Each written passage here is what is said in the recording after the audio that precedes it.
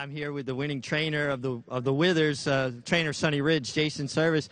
Jason, you worked with Jimmy Croll, the trainer of Holy Bull, and now you've got a son of Holy Bull that looks quite a bit like him. There's no doubt in my mind Jimmy's looking down. Um, you know, I was, he was a mentor of mine. He, when I started training, he sent me my first horse, who actually was a horse called Romancer, who was gray. And there's some karma going on here, big time. This colt's never done anything wrong. Were you surprised to see him laying up so close? It looked like a lot of pace in the race that didn't develop. No, I was concerned because I knew he breaks sharp, and that's just what he did. Um, I felt pretty good going down the backside. You know, I, they had some work to do, and I was kind of where I needed to be. So, but that that might give him a little trouble sometimes. He breaks so good. Well, he'll hook races where there's more speed, but are you happy with what he got out of this race? What can I say? Win's a win. It was great. It was great. Where do you think you go next? Will we stay here for the Gotham?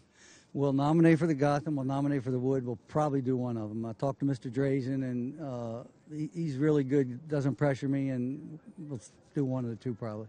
Congratulations. Great job. Thanks a lot, Rich. Appreciate it.